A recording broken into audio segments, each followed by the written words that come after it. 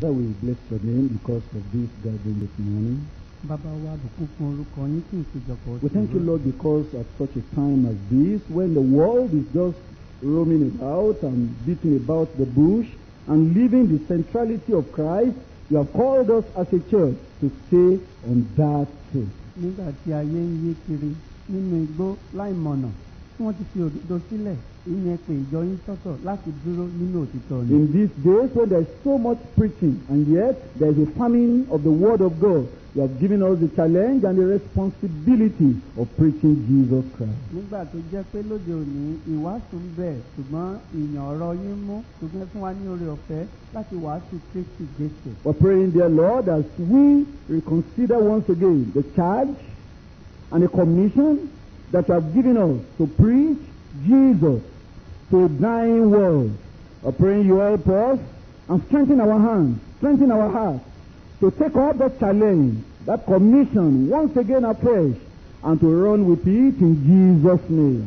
bí a tún ti ń gbé yẹ̀wò àṣẹ láti wàásù kristi tí gbogbo ayé ti ń kú lọ àgbàdo ẹ̀ fún wa ní oore ọ̀fẹ́ láti yiri ìpèníjà yìí wò kí a sì lè ṣe lọ́tún sí i lórúkọ I pray that in any way and in anyone in whom this charge, this commission is already even getting weakened, and this conviction is no longer strong, we're praying once again, you will charge us and you will renew our commitment and our consecration, as well as our conviction in the world about the centrality of Christ to the gospel message. Help us to bring him back to where he belongs in our messages and our lifestyle and our service in Jesus' name. a gbàdúrà olúwa lọ́wọ́ ẹnikẹ́ni tí iṣẹ́ ìránṣẹ́ àti ìpèníjà tí ẹ fi fún wa láti wàásù rere bá ti ń jó rẹ̀yìn tí kò lókun mọ́ bíi ti ìṣáájú àgbàdo ìpẹ́ ó sọ irú ọkàn bẹ́ẹ̀ yìí a ó sì lè mú ọ̀rọ̀ yín ṣẹ a ó wàásù rẹ̀ láti bá ìgbé ayé wa mu láti bá ìgbé ayé ayé yìí mu kí wọ́n lè yí padà sí yín ẹ fún wa ní agbára àti okun láti ṣe pẹ̀lú ìgbàgbọ́ tí ó yè koro lórúkọ We pray, Lord, that every one of us will depart from this meeting today with a fresh anointing to preach Jesus only. a gbàdúrà wípé olúkúlùkù wa ó fi bí sílẹ̀ pẹ̀lú ìfàmìróyàn ọ̀tun láti wàásù jésù nìkan lórúkọ And when he will come back, we will not be ashamed to meet him, and we will be glad to tell him we have preached Jesus only. nígbà tí yóò sì padà dé a ò ní jẹ́ ẹni ìtìjú a ó lè pàdé rẹ̀ wípé jésù yìí nìkan làwa ti wàásù. We thank you because you know you have a dúpẹ́ olúwa torí tí a mọ̀ tí ẹ ti gbọ́ In Jesus' name we pray. ní orúkọ ti jésù ní a gbàdúrà. Amen. àmín. Once again, we have come before the Word of God. lẹ́ẹ̀kan sí i a ti wá sí iwájú And I want to remind you that this is workers' meeting. mo fẹ́ rán wa létí wípé ìpàgọ́ ti àwọn òṣìṣẹ́ rèé. And in these days, we need to be checking up and re-examining once again and bringing back once again the seriousness that ought to be in a workers' meeting. Kí a máa gbé yẹ̀wò ohun tó jẹ́ kókó àti ohun tó jẹ́ kò ṣeé má ní tí a ò gbọ́dọ̀ fọwọ́ yẹpẹrẹ mú nínú ìpàgọ́ ti àwọn Because it is òṣìṣẹ́. nowadays when it appears as if uh, everything is mixed up, you cannot know the left from the right, you cannot know those who are old from those who are new, everything appears mixed up. These are the days we need to be re- strengthening once again what it means to be a servant, a minister of the Lord. bí ó tilẹ̀ jẹ́ lúrú ti dàpọ̀ mọ́sàpà àti àwọn ojú tuntun ti darapọ̀ o kò yẹ ká mọ ọ̀tún yàtọ̀ sósì ṣùgbọ́n síbẹ̀ a gbọ́dọ̀ ṣe àwárí àwọn tí ń jẹ́ ìránṣẹ́ ọlọ́run Uh, tòótọ́. That's why, as I told you yesterday, you won't see any usher going around and waking you up and saying, Don't sleep, don't sleep, don't sleep. ìdí nìyí tí mo fi sọ fún wa ní alẹ́ àná wípé a ò ní rí àwọn atọ́jú èrò tí wọ́n máa lọ sí pé má sùn má sùn. Even if I see you sleeping, I'm not likely to break my message unless you are disturbing me if you're in the front. And I'm not likely, if I see you there, you are just sleeping, I'm likely to say, well, it's not his fault, it's not our fault.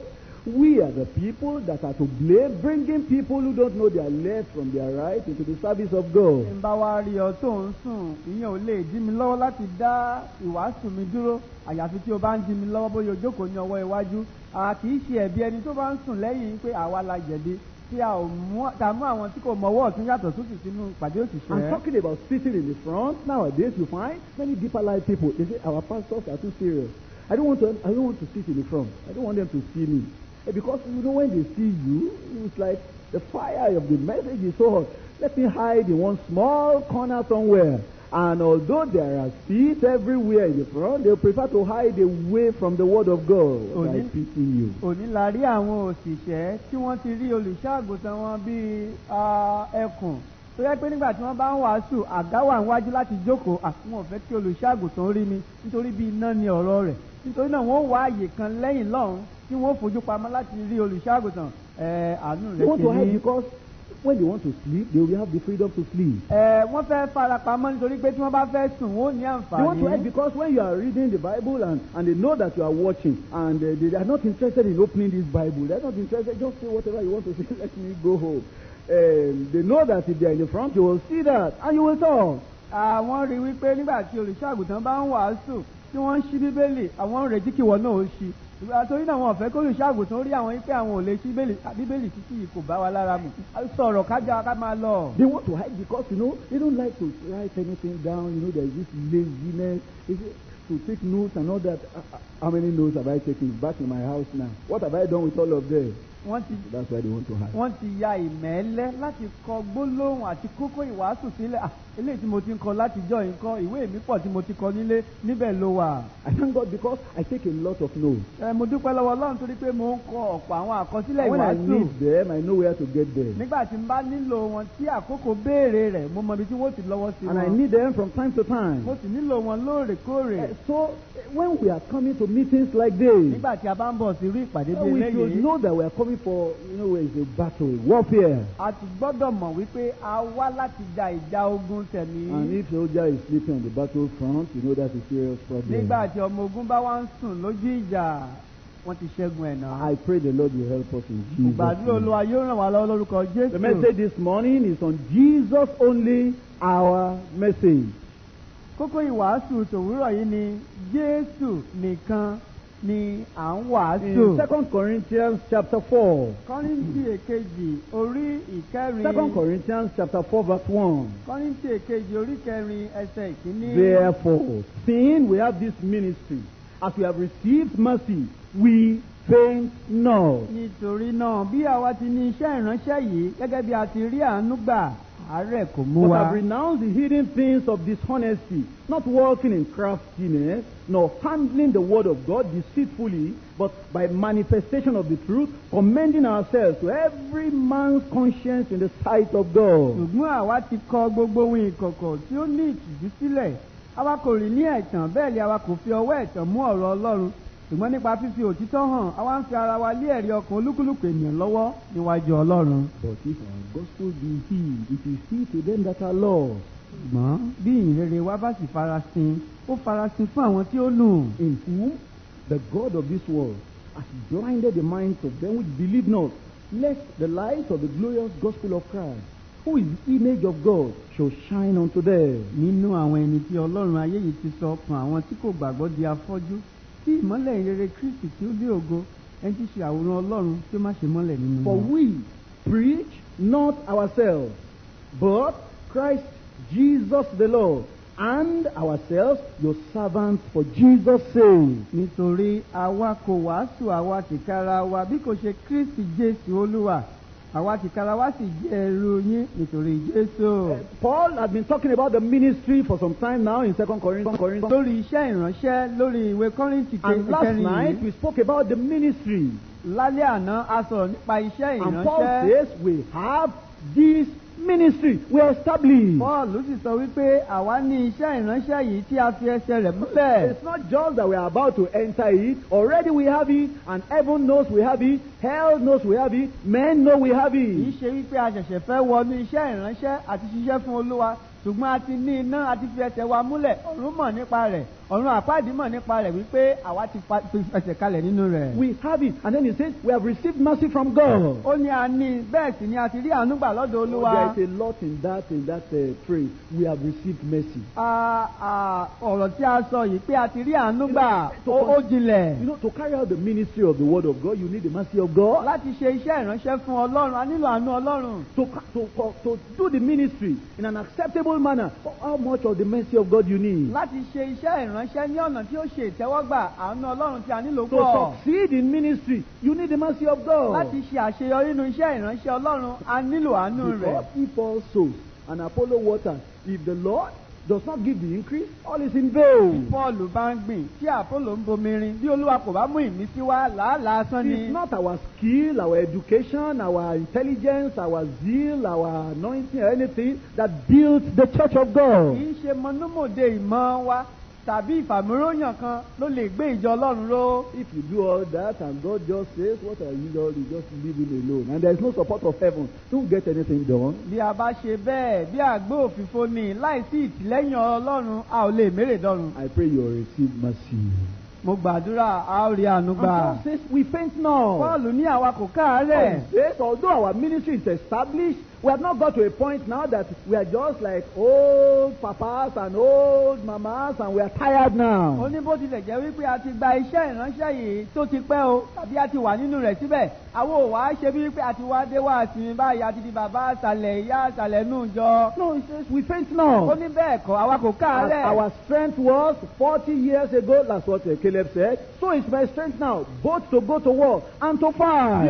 bí okun mi ti rí ìyẹn bí joshua ti sọ wípé bí ogójì ọdún sẹ́yìn o síbẹ̀ bẹ́ẹ̀ lokun mi wà láti jáde lọ àti láti jà. I was reading a book yesterday mo ń ka ìwé kan lánàá. by Samuel Logan Brengo, one of the Salvation Army great, great ministers. samuel logan lẹ́gùn ló kọ ìwé yìí ọ̀kan nínú àwọn oníṣẹ́ ìránṣẹ́ nínú ilé He, tí a he- said he yìí. visited one old saint of God, ní òun dé bí bẹ ìránṣẹ́ ọlọ́run kan 80 wò. years of age. àì tó jẹ́ ọmọ ọgọ́rin ọdún. And then when they finished their meeting, nígbà tí wọ́n parí ìpàdé and he wọn prayed, ó gbàdúrà immediately he finished prayer, bó ti parí àdúrà. the man, that 80 year old saint, burst into prayer. Ọkùnrin àgbàlagbà yìí tó jẹ́ ọmọ ọgọ́rin ọdún yìí ó bẹ̀rẹ̀ sí ní gbàdúrà And ní he said, ẹkún. Oh God, ó ní olúwa I testify before you today. mo jẹ́rìí níwájú rẹ lónìí. And I testify before these young people àti níwájú àwọn ọ̀dọ́ yìí. That old age is not a time of burden, it's not a time of weakness, it's not a time of laziness.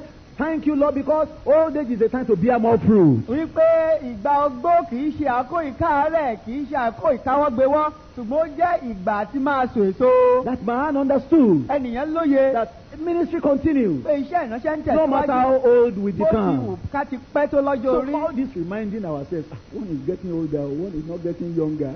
Getting older, doesn't the Bible say they shall still bear fruit in old age? They shall be fat and flourishing. èyí tí à ń tura wa nínú tá à ń kànú àgbà ń tara yìí o ó wá ti gbàgbé ohun tí ìwé mímọ́ wípé wọ́n máa sèso ní ìgbà ogbó wọn. Moses, 120 years of age, his force was not abated, his natural force was not abated, his eyes were not dim. àrí Mósè lẹ́yìn tó jẹ́ ọgọ́fà ọdún okun rẹ̀ kò dín ojú rẹ̀ kò rí báyìí bẹ́ẹ̀ ni okun rẹ̀ tún lágbára sí. A ministry we faint a ní iṣẹ́ ìránṣẹ́ tí àwa kò káàárẹ̀ nínú And there are many things that could make you to fail. àwọn ọ̀pọ̀ nǹkan ló sì lè mú wa The káàárẹ̀. opposition of men, ìdojúkọ àwọn ènìyàn. the corruption of the word of God, ìbàjẹ́ bíba ọ̀rọ̀ Ọlọ́run the pressure they are piling upon us, Ah, bí wọ́n ṣe ń wa ń kẹ́sẹ́ tí wọ́n ń wa ní kúkú. the ridicule they have given to us. ẹ̀sìn tí wọ́n fi wá ṣe. It can make you to face and say, see, I am the only one defending this thing like uh, Elijah. He said, God, I'm the only one. They have killed all your prophets. Nobody is standing for you again. And you fail. lè mú wa káàárẹ̀ bí èlíjà tó sọ wípé olúwa èmi nìkan ni wòlíì rẹ tó wà àwọn ìyókù wọn ṣe tèmi ó lè mú wa káàárẹ̀ ọkàn. Paul, Paul said we faint. Pọ́ọ̀lù ní wa àwọn ò káàárẹ̀. We, we have renounced the hidden things of dishonesty. àwa ti ìkọ̀kọ̀ tí ó jẹ́ ti ìtìjú. And he says, there's nothing secret, nothing unclean, nothing dirty, nothing pub, uh, hidden somewhere, dishonesty in our ó ní lives. kò sí ohun ìkọ̀kọ̀ kan kò sí májà gbọ́ kankan kò sí ohun àṣírí kan nínú ayé wa. Not walking in craftiness. àwa kò rìn ní. We are, we are not crafty, cunning people. a ò jẹ́ ọlọ́gbọ́n ẹ̀wẹ́ alárékérekè ẹ̀dá trying to do the work of God with a kind of ulterior tí motive. à ń gbìyànjú láti ṣe iṣẹ́ ọlọ́run pẹ̀lú èròǹgbà èrè tá ó jẹ He nínú says, more than that. ó ní ju eléyìí ò ní lọ We are not handling the word of God deceitfully. a ò fi ẹ̀tàn mú ọ̀rọ̀ He says when we handle the word of God, it's straight. Onígbà tí a bá mú ọ̀rọ̀ ọlọ́run tààràtààrà We give it out on its face value. à ń sọ lókodoro ọ̀rọ̀ ni There's no deceit there. kò sí ẹ̀tàn nínú We rẹ̀ say it as it is, no matter who is happy, no matter who is a sad. sọ ojú abẹ ọ̀rọ̀ náà ní kó a ò bìkítà ẹni tó gún pẹ́sẹ́ ẹni tí ó kàn If you know the Corinthians, you know why Paul said that. tí o bá mọ ìṣe àti àbùdá àwọn ará kọ́rìntì ó mèrè ní tí paul are fi very, very tẹ́lẹ̀ proud and pompous people. àwọn ará agbéraga ni wọ́n wọ́n máa ń fẹ̀gẹ̀. People who felt that they knew the word of God, so if you are coming to preach to us, you need to know what you are coming to say. àwọn tí wọ́n lérò wípé àwọn ti mọ ọ̀rọ̀ ọlọ́run nítorí náà tó bá fẹ́ wàásù fún wa a gbọ́dọ̀ mọ kókó ìwàásù rẹ ohun And if tó you are dálé not lórí. careful when you get before them, you are likely to change your message and preach another thing. tó o bá kíyè sára bí ìwo wọn bí ìṣe wọn ìhà wọn tí wọ́n kọ sí ọ̀rọ̀ ó ṣeé ṣe kí o yí ìwàásù rẹ padà. Never. paul ní They láé don't handle the word of God deceitfully. àwọn òfẹ̀tàn mú ọ̀rọ̀ ọlọ́run. He says, but by manifestation of the truth, we commend ourselves to every man's conscience in the sight of ó God. ní ṣùgbọ́n nípa fífi òtítọ́ hàn àwa ń fi ara wa lé ẹ̀rí ọkàn olúwo ènìyàn lọ́wọ́ níwájú So what he was saying was that even those who don't accept our message, their conscience will tell them what we are saying is so is true because we will say it in such clear way. We commend ourselves to their conscience that they cannot doubt. They will say, I know it is true, but I don't accept it. Ẹ, ohun tí sọ ní wípé àwọn mìíràn tilẹ̀ wà láàrin wọn tí ò ní gba ìwàásù wa tàbí ọ̀rọ̀ wa ṣùgbọ́n àwa ń bá ẹ̀rí ọkàn wọn sọ̀rọ̀ tí wọ́n fi mọ̀ wípé lóòótọ́ òótọ́ ọ̀rọ̀ ló sọ ṣùgbọ́n èmi ni wọn fẹ́ gbà á. He says, We have preached the gospel so clearly, ó ní àti wàásù ọ̀rọ̀ ọlọ́run láì fepo bí oyọ̀. so convincingly, a sọ lọ́nà tó yè that kooro. if by now anybody says he doesn't understand our gospel, it's because that person is a lost pé person. ní ìgbà tí a dé yìí o bí ẹnìkan bá wá lòun ò tí ì gba ìrere wa gbọ́ tàbí kò mọ̀ ẹnìyẹn ó ti Think sọnù about ni. that in your own ministry. ìwọ náà rò eléyìí wò nínú iṣẹ́ Think about that in your own church. rò ó nínú ìjọ rẹ. Think about that your own little corner God has put you. ní abala kékeré tí ọlọ́run fi ọ́ That you are able to say, pé o lè wí pé I have declared the totality of the gospel. mo ti wàásù òkodoro ọ̀rọ̀ Everything ọlọ́run. I've laid it very clear and bare. ohun gbogbo ni mo ti fi hàn kedere tí ò So if anybody is lost from this church, bí ẹnìkan bá wá sọnù láti ní ìjọ it's not because the word of God is not clear, it's because that person has allowed himself to be lost. kì í ṣe nítorí pé ọlọ́run kò lágbára tàbí kò hàn kedere ẹni bẹ́ẹ̀ ti gba rẹ̀ And kó then, sọnù he- ni. and then he spoke on and spoke on then in verse 5. ó sọ̀rọ̀ síwájú ó sọ̀rọ̀ síwájú sí inú ẹsẹ̀ He ìkarùn-ún. says, you know, we preach not ó ourselves. ní ìjọ mọ̀ àwa kò wá sí àwa tìkára wa. Anytime we get into the pulpit, ọ̀pọ̀ ìgbà tí a bá dé orí àga our motive and our intention is not to speak ourselves. èsì ọkàn wa àti èròǹgbà wa kì í ṣe láti wàásù ara We have only one goal. a ní ìlépa We want to speak about Christ Jesus the a Lord. fẹ́ sọ̀rọ̀ nípa kristi jésù And olúwa. if we say anything about ourselves, tí a bá so nǹkan nípa wa. it is to remind you that we are your servants Oh. for the sake of òun ni Christ. láti rán yín létí wípé àwa náà jẹ́ ẹrú yín nínú kristi jésù. This man Paul was a very faithful minister. yìí ó jẹ́ ìránṣẹ́ olóòótọ́. And the faithful ministers, God approved ministers, are not difficult to identify. ìránṣẹ́ olóòótọ́ tí olúwa fọwọ́ sí kì í ṣòro láti mọ̀. In an age when others will rather preach some fascinating theme or some new revelation or some smooth gospel, Paul the apostle, like every other faithful minister, will stand straight and preach Christ and Christ alone. ní ìran tí àwọn ènìyàn yóò máa wàásù kókó ìwàásù tí ń fani mọ́ra tí múnú ẹni dùn tí mórí ẹni yá bó tilẹ̀ jẹ́ pé ó fọwọ́ bo ẹ̀ṣẹ̀ mọ́lẹ̀ ṣùgbọ́n bí ìránṣẹ́ ọlọ́run tòótọ́ bíi ti pọ́ọ̀lù yóò wàásù kristi nìkan àní òun nìkan. Jesus only was Je- the central theme of Paul's message. jésù nìkan ni àárín gbogbo iṣẹ́ ìránṣẹ́ ti pọ́ọ̀lù. I told you he was Paul, he wrote to these pompous uh, Corinthians. mo sọ fún wa kó kọ̀wé sọwọ́ sí àwọn ará kọ́rìntì tí máa ń halẹ̀ yìí. These self-conceited Corinthians. àwọn ará kọ́rìntì tó jẹ́ wípé ipò tí wọ́n ti tẹ́ wọn lọ́rùn This wọn ò nílò ohunkóhun lójú ara wọn. These sectarian Corinthians. àwọn ará kọ́rìntì yìí tó ha ara wọn gágágá wípé ní ìlà wa àwa ń bálẹ̀ bí. And Paul continued to repeat to them, he reiterated to them persistently the centrality of Christ to the true gospel message. ṣùgbọ́n pọ́ọ̀lù ó ṣe àwí ìyanu ó ń tọ́ka sí lemọ́lemọ́ ó ń sọ gbọmọgbọmọ létí wọn wípé jésù nìkan ni àárín gbogbo ìwàásù òun. That's why you find here in 1 Corinthians chapter 1 and verse 18. ìdí ní ìta fi nínú ìwé kọ́rìntì kìíní orí kìíní ẹsẹ̀ ìkejìdínlógún. You will see that every chapter of his letter to them, he was telling them about the place of Christ, the centrality of Christ in his message. a ó rí ní gbogbo ibi tí ó ti wàásù ó ń sọ ibi tí kristi wà nínú ìwàásù rẹ̀ àní àárín gbogbo. 1 Corinthians chapter 1 verse 18. kọ́rìntì èkìíní orí kìíní ẹsẹ̀ For the ìkejìdínlógún. preaching of the cross is to them that perish foolishness, but unto us which are saved, it is the power of God. nítorí pé ọ̀rọ̀ àgbélébú sí àwọn tí ó ń ṣègbè ṣùgbọ́n sí àwa tí a ń gbàlà agbára ọlọ́run ni. 21. ẹsẹ̀ For after that, in the wisdom of God, the world by wisdom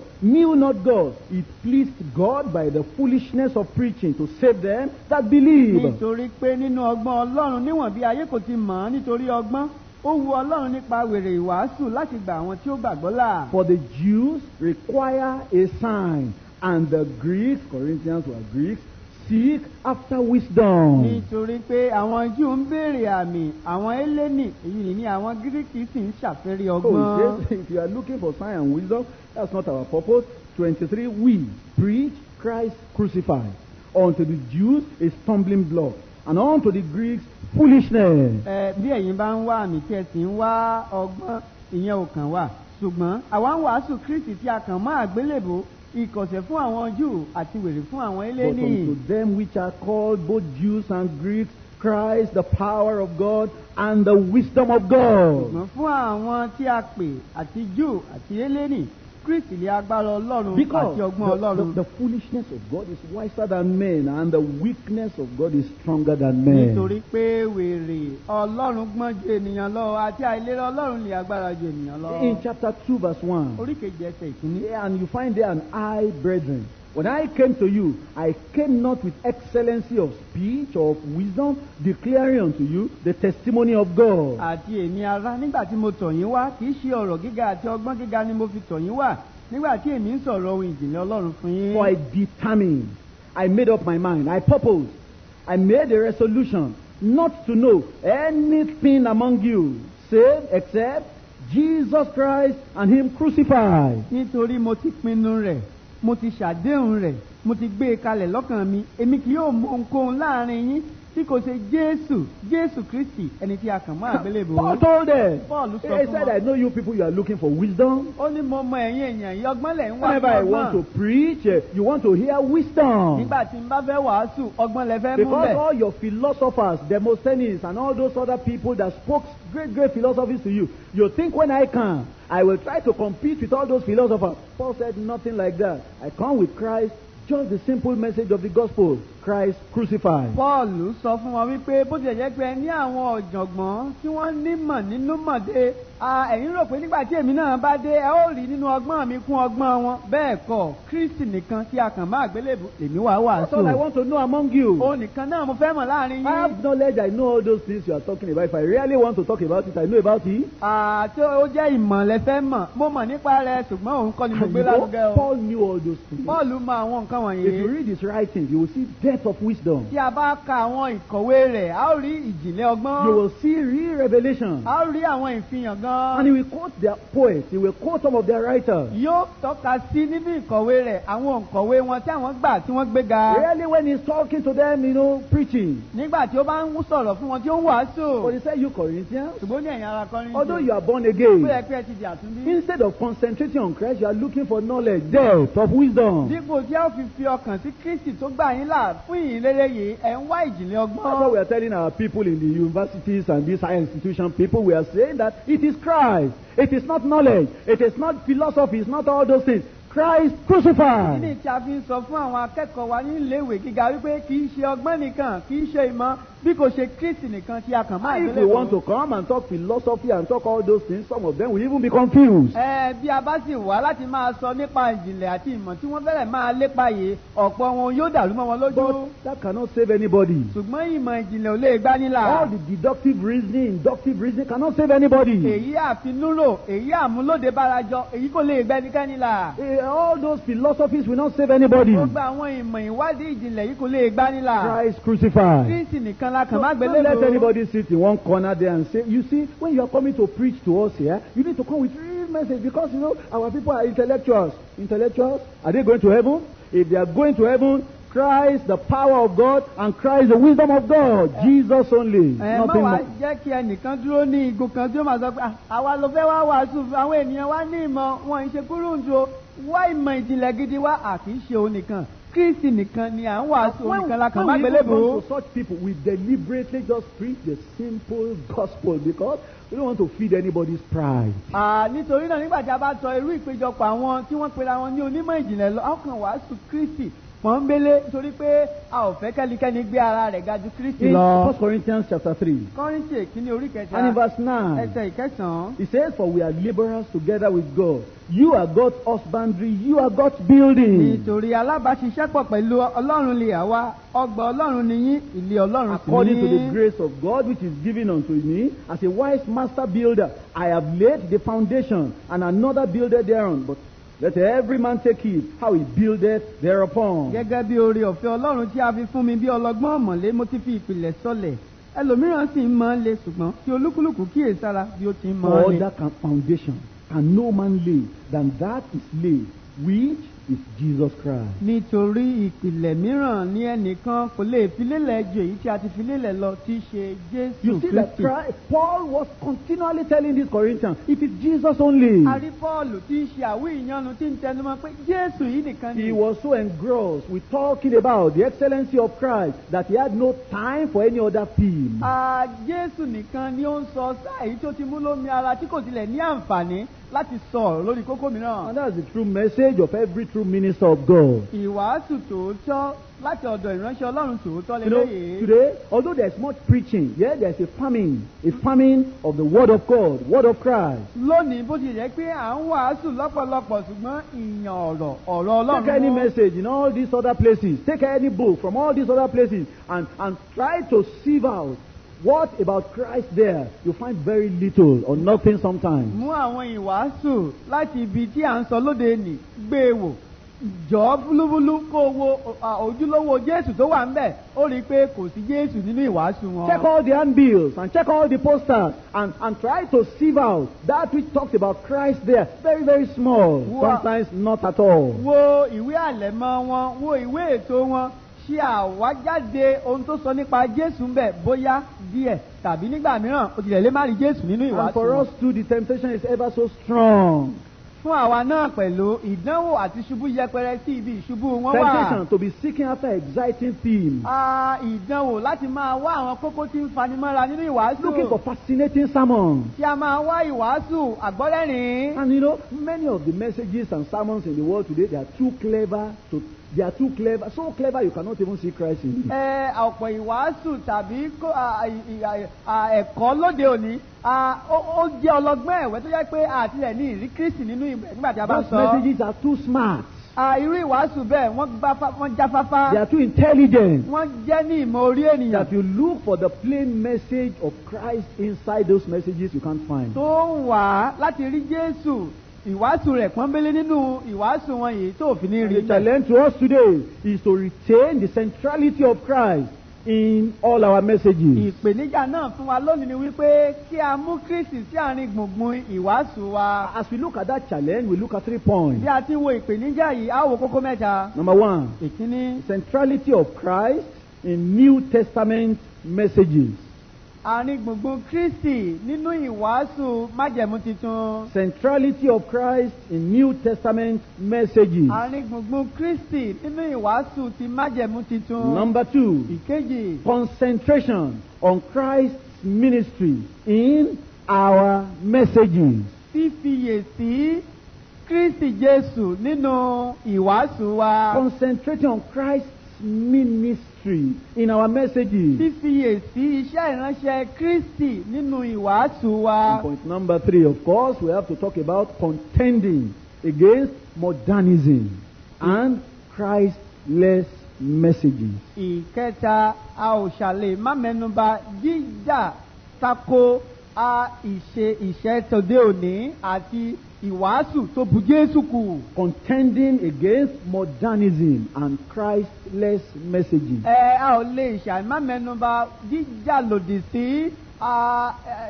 ìṣe tòde òní àti ìwàásù tó bu jésù kù. Now, as you look at the messages of the New Testament believers, bí a ti wo iṣẹ́ ìránṣẹ́ àwọn onígbàgbọ́ ti májẹ̀mú titun. you will see that although these people knew a lot about demons, a ó rí wípé àwọn wọ̀nyí wọ́n mọ̀ ọ̀pọ̀lọpọ̀ nípa ẹ̀mí àìmọ̀. about the depths of Satan, nípa ìjìnlẹ̀ ohun sàtánì. I'm sure you know they knew a lot about demons. ó mọ̀ wípé wọ́n mọ̀ ọ̀pọ̀ nípa ohun ẹ̀mí Because àìmọ̀. if you take the Gospel of Mark, tó jọba mú ìrere ti máàkù. from the very first chapter, you see a case of people who are demonized, demon possessed, delivered by Christ, and all that. You find almost every chapter you find demon problem, demon problem. Demon problem is not a new thing; it has been for a long time. láti orí kìíní ìwé máàkù yìí ó rí ọ̀pọ̀lọpọ̀ ìṣẹ̀lẹ̀ àwọn tó ní ẹ̀mí àìmọ́ tí jésù dánidè àwọn tí ẹ̀mí àìmọ́ ń pọ́n lójú tí jésù sọ wọ́n di òmìnira ìmọ̀ nípa ẹ̀mí àìmọ́ yìí èyí kò ṣàjèjì sí àwọn onígbàgbọ́ yẹn. And yet, with all that, all the knowledge about demons, what was in their message? síbẹ̀ pẹ̀lú ìmọ̀ tí wọ́n ní lórí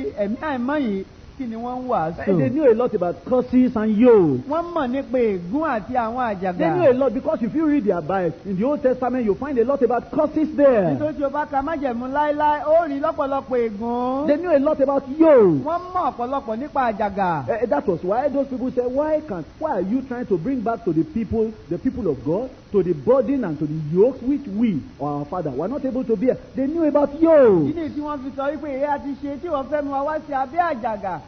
àti ẹrù wíwo tí àwọn bàbá wa kò lè rù wọ́n mọ̀ nípa àjàgà. And yet they shunned all that knowledge. síbẹ̀ wọ́n pa àwọn ìmọ̀ yẹn tì. And they just retained, they retained Christ only as the centrality of their wọ́n message. mú jésù nìkan sí àárín gbùngbùn iṣẹ́ ìránṣẹ́ wọn. Don't you see what's happening in many places today? ó a rí ohun tí ń ṣẹlẹ̀ ní ọ̀pọ̀lọpọ̀ ibi And lónìí. unfortunately, many of us are also being swayed in those places. ó ṣe ní láàánú pé ọ̀pọ̀ wa láfẹ́fẹ́ ti bì lulẹ̀ And all níbẹ̀. those books that we are buying. àwọn ìwé tí a sì ń rà ní. And check your library now.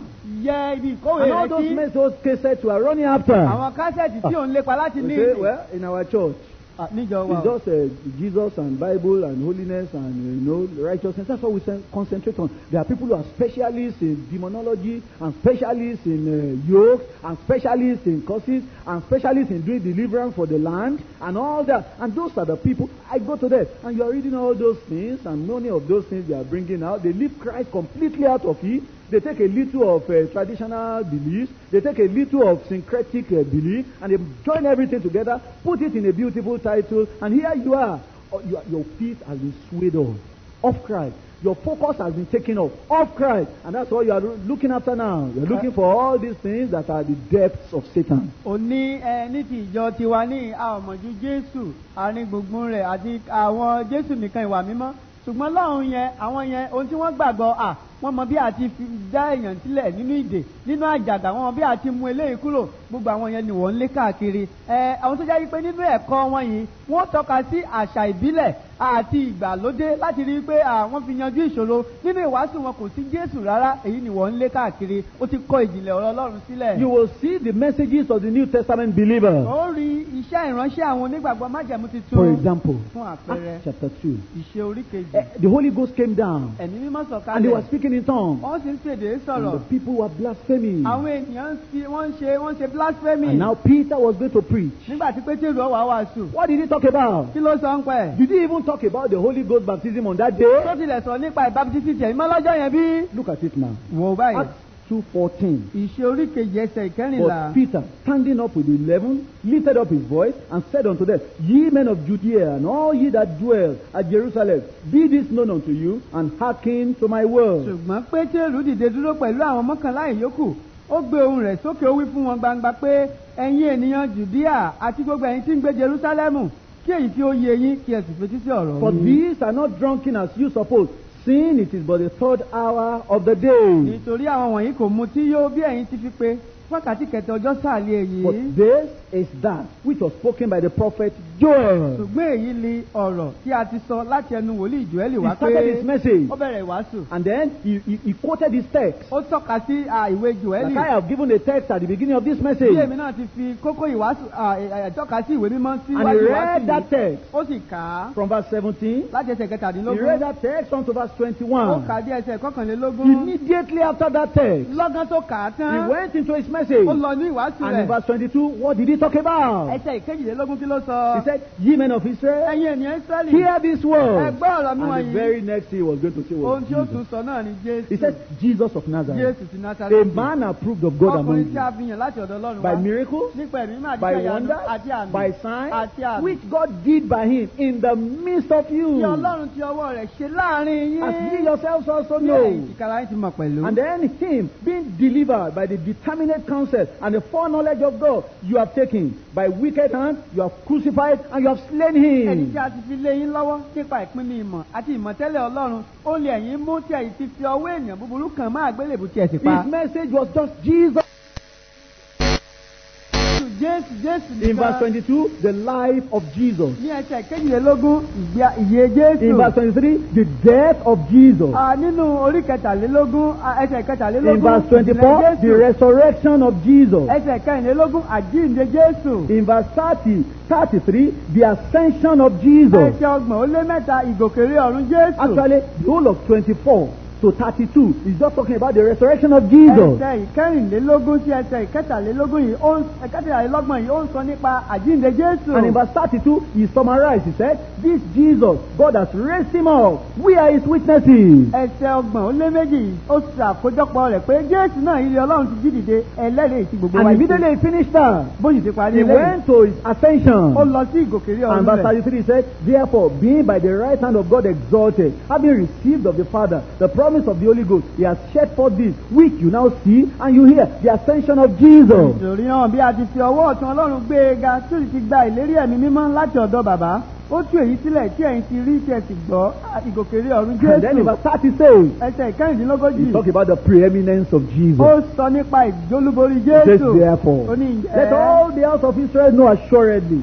that God has made that same Jesus whom you have crucified both Lord and Christ. That was his kí message. gbogbo ilé Ísírẹ́lì tí ó mọ̀ dájúdájú pé Ọlọ́run ti fi Jésù náà tí ẹ̀yin kan máa gbélébùú jẹ́ Olúwa àti Kristi ìwàásù rẹ̀ rèé Think about that kind of message. rò nípa irú ìwàásù From eléyìí beginning from point one to the last point, Jesus. láti ìbẹ̀rẹ̀ kókó kìíní dé òpin Jésù Suppose I came here today. ọ̀pọ̀ wa a wá síbí lónìí suppose I came here today. tó bá jẹ́ pé mo wá síbí And I lónìí said my message this morning is Jesus, mo ní ìwàásù mi ní Jésù Lord and Christ. Olúwa àti Kristi And then I tí begin mo ti bẹ̀rẹ̀ and I read all the chapters tí mo ka gbogbo and àwọn all the orílẹ̀ mímọ́ verses àti and ẹsẹ̀ everything just Jesus. ohun gbogbo Jésù Just Jesus. Just Jesus. No other thing. yóò ṣe òmíràn tí mo bẹ́ẹ̀ some nígbà of you will be sleeping. lára yín ọmọ sùn You say, Pastor, is Pastor doesn't have message today. Ah, olùṣàgùtàn ti gbẹ kò ní wàásù Just lónìí Jesus only. Jésù nìkan Just olórí ìsọmi Bible passages about Jesus. ẹsẹ̀ bíbélì nípa Jésù But the Bible tells us that when Peter finished that message, it was like fire in their, they were pricked in their heart. bíbélì sọ fún wa wípé nígbà tí pétérù parí ìwàásù yìí ó dàbí iná ní ọkàn wọn ní ọkàn wọn gbọgbẹ́ They could not speak about any other person except Jesus. kò lè sọ̀rọ̀ nípa òmíràn bí kò ṣe Jésù Although they were facing persecution, bóyá pé wọ́n ń ṣe níbi he didn't tí talk about that kò persecution. sọ nípa níbi tí wọ́n dojú Although they kọ were facing real opposition, bóyá pé à ń dojú kọ wọ́n he didn't preach a message on how to face opposition, ẹ kò wàásù pé ẹgbẹ́ bá dojú kọ yín bẹ́ẹ̀ ṣe ṣe rèé prayer warfare, ara how to bind the devil. Ń No, gbé wa he just talk about ó ń Jesus. sọ nípa That's all he talk ohun about. tó ń sọ nípa And the word convicted those people. ọ̀rọ̀ tí ó sọ yìí Jésù yìí ó dá àwọn èèyàn lẹ́bi. And that's what we find in all the messages of those people. ohun tí a rí nínú àwọn ìwàásù àwọn èèyàn wọ̀nyí. Jesus. àní Jésù One is life, èkíní ìgbé ayé two rẹ̀. is death, ìkejì ikú three rẹ̀. is burial, ìkẹta ìsìnkú four rẹ̀. is uh, resurrection, ìkẹni àjíǹde rẹ̀. Five is ascension. ìkarùn ìgòkèrè That's all ọ̀run they rẹ̀. talked about. Ohun tí wọ́n ń sọ nípa rẹ̀ in rèé chapter 3 ní orí kẹta. of Acts and in verse 11. ìṣe ẹsẹ̀ ìkọkànlá. Acts 3 11. ìṣe àwọn àpọ́sítélì orí kẹta ẹsẹ̀ And ìkọkànlá as the lame man which was healed held Peter and John, all the people ran together unto them in the porch that is called Solomon's, greatly wondering. bí ọ̀rọ̀ bí arọ tí amúlára dá sì ti di pétérò ń jòhánù mú gbogbo ènìyàn jùmọ̀ súré jọ tọ̀ wọ́n lọ ní ìloro tí à ń pè ní ti sólómọ́nì ẹnu yà wọ́n gidigidi. And when Peter saw it, he answered unto the people, Ye men of Israel, why marvel ye at this?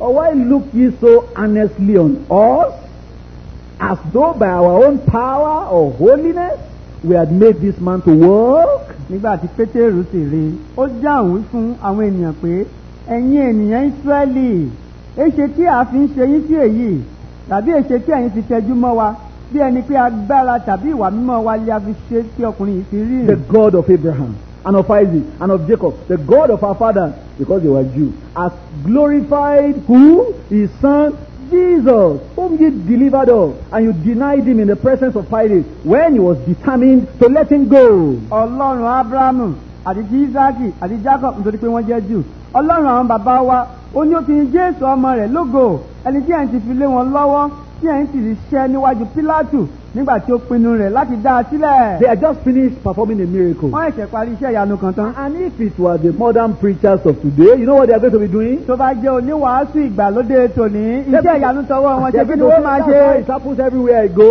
wọ́n máa sọ pé bí ó ti máa ń ṣẹlẹ̀ gbogbo tí bá lọ nìyẹn o.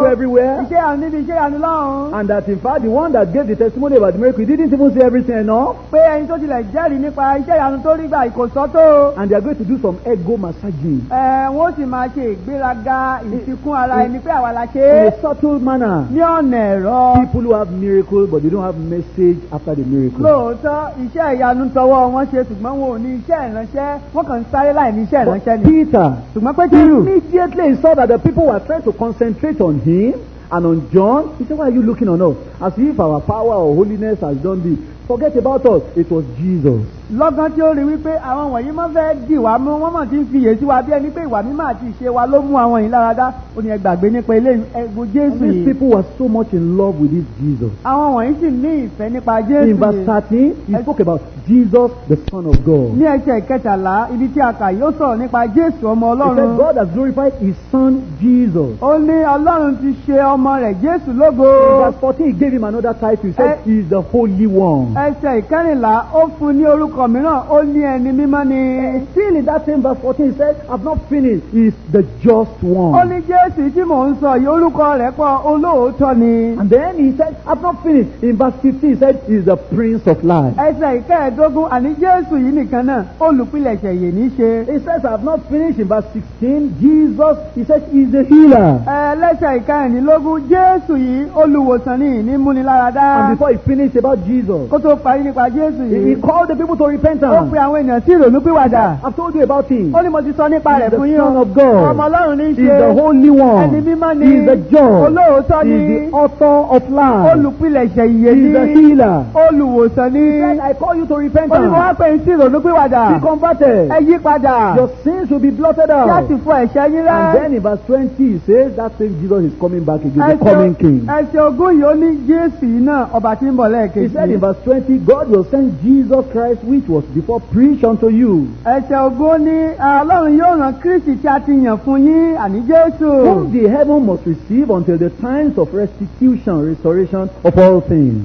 Ẹni tí ọ̀run kò lè ṣàìmá gbà títí di ìgbà ìmúpadà ìgbà ìmúpadàbọ̀ sípò ohun gbogbo. You tell every verse talks about Jesus Christ. orí gbogbo ẹsẹ̀ tí a ń tọ́ka sí ó ń sọ nípa jésù. No other message, kò sí iṣẹ́ no ìránṣẹ́ other náà argument, kò sí just àníyànjiyàn mi. Jesus only. jésù nìkan. what a challenge these people are giving to us. irú ìpèníjà wo ni àwọn wọ̀nyí ti fún In wa. chapter 4, orí kẹrin now here in chapter 4 and in verse 5. ní orí kẹrin ní ẹsẹ̀ ìkarùn-ún. They were arrested for preaching Jesus. a mú wọn pé káì kílẹ̀ ń wàásù jésù And fún. they brought them to the council. wọ́n wá ṣe àwájú ìgbìmọ̀. And they gathered all of them. wọ́n kó wọn wọn And jọ. what question were they going to ask them? ìbéèrè wo wọn bí wọn báyìí. 7. ẹsẹ̀ ìkeje. When they had set them in the midst, they said, they asked, By what power or by what name have you done this? nígbà tí wọ́n sì mú wọn dúró lé àárín wọ́n béèrè pé agbára tàbí orúkọ wo ni ẹ fi ń ṣe Ah, èyí. the anointing came upon Peter Ah, at that time. àǹfààní rèé àmì oró bàyè Oh, for pétérù. true anointing. Ah, nítorí àmì àrò So, the tòótọ́. people that talk about anointing today, they don't know anointing. àwọn tí ń sọ̀rọ̀ nípa ìfàmìíràn wọn mọ̀ nípa True ìmìíràn. anointing makes you to talk about Christ because when the Holy Ghost is come, he shall speak of me, he shall glorify me. àmì ìfàmìíràn tòótọ́ yóò mú ọ sọ nípa jésù nítorí jésù jésù ti wí ṣáájú wípé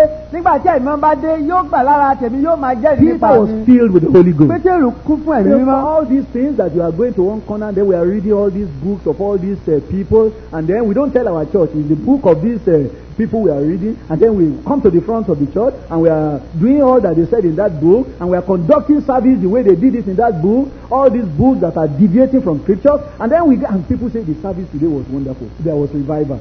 What kind of revival? The revival, you know, that you say all the demon that is in the backyard of your father and all the demon that is in the farm, and we're going to do deliverance for your for ground, for the land, your land, your family land. We're going to do deliverance, and they, they say, I'm going to anoint you when we finish. Go to this uh, your village, the land of your family that you know you have been, been there. You have to do deliverance for that land because that land is possessed, and we are going to do a lot of things, and we are bringing all these funny, funny, funny ideas, and then the people say revelation in our church today. Revelation, revelation that is outside the word of God.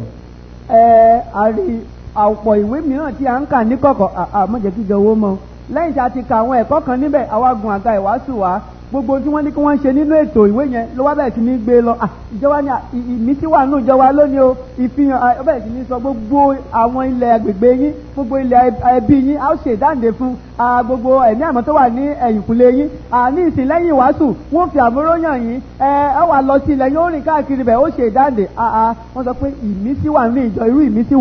Peter, pétérù when they asked them, nígbà tí wọ́n bí wọ́n how did you do this? bó o lẹ ti ṣe nǹkan yẹn Anointing came upon him. àmì ló I balẹ̀ pray anointing will come upon you.